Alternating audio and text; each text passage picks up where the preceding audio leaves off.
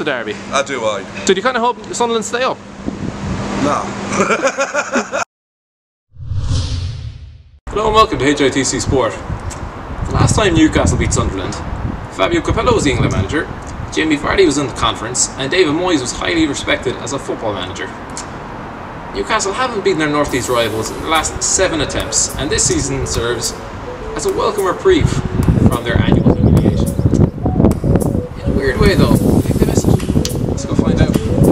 Do you miss the derby in a weird way? Yeah, I do, because it's a big two events of the year, you know, it's something to look forward to. It's like your Christmas Boxing Day, your bank holiday is the derby is the other thing you look for. Yeah, Yeah, of course, yeah. Even though you haven't won in so many years.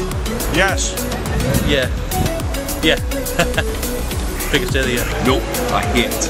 Absolutely hate it. I know it's going to happen. Oh, massive. Yeah, yeah, massive.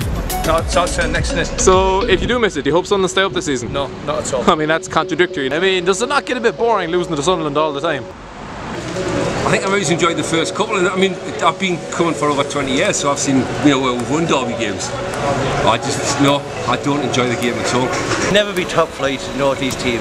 That's the end of that. Statistically this season, they are. Certainly the last few seasons where we've done poorly, they just haven't tried, but I, I, it's a game I don't really enjoy, and I don't miss it at all. So you're basically praying that Sunderland go down this Oh season. yeah, I'm hoping that we have to pass them. okay.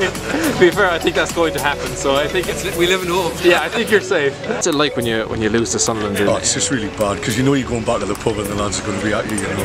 Just the pain of it, just horrible. Just the piss taking and all that from the Sunderland fans, and you know, just. Uh, but it's just sickening. It really is.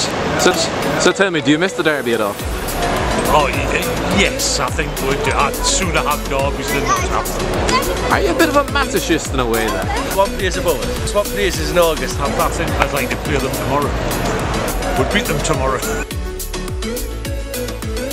The way Sunderland are at the minute is, is just brilliant, you know what I mean? So we, we, can, we can stand from a watcher's point of view and watch them feel, you know, and that's as good as a derby, derby win, isn't it? This decade we had a good two decades of winning them.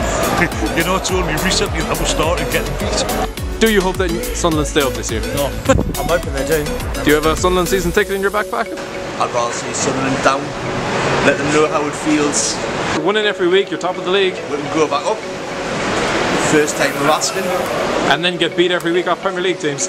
probably. They- They call it Stadium in Light. Can Stadium- I, uh, can I, can I call it what do we call it? What do you call it? Stadium of Shite. It's almost the same banter with uh, Newcastle and uh, the Mackems.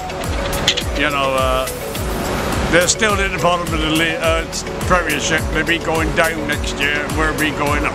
Do you hope they do go down? Yeah! you know me! You do, As long as they're not in there. Yeah, that's the main point.